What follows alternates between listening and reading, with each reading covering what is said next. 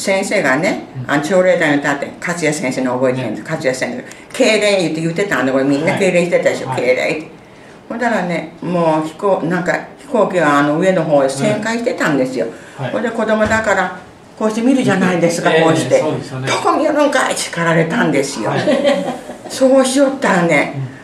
ピカー言ったんだ。ドン言ったんですよ。あ。そうしたらもう見たらあの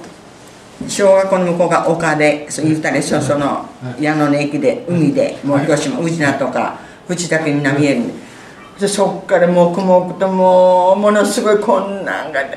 もう何が何や無我夢中でもう先生がもう教室入られてまっすぐ帰りなさいよ。私なんか何が何かわからないもう一生懸命無我夢中家に帰ってきたんですよ。あもうしばらくしてまあちょっとだいぶあるからね3時。はい。だどんどんみんな被爆者が自転車やもうギャカーとかね、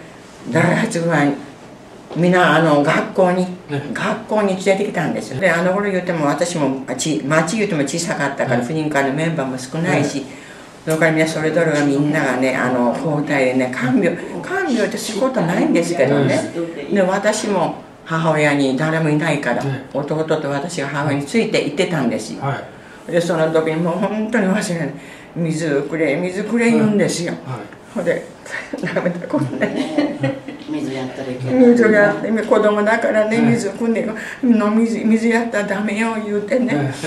ほんで言われてねほんで水くれほんでお母さんお母さんってみんな言ってるんですよ、水やったら早く口の分言って。かわいそうでね、ほんでまあそういうことも65年経って本当に他のことを忘れてるんだけど本当によう忘れました夏休みが始まって勉強できないが机にもうあの皮がくっついてるじゃないですか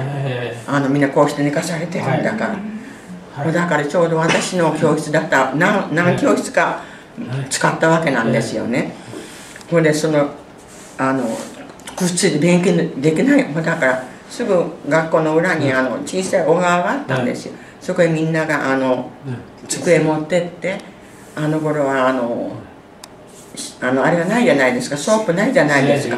ほうだから縄があったから縄をこんな巻いて砂があった紙に砂をねくっつけてえこんなにこう下げてね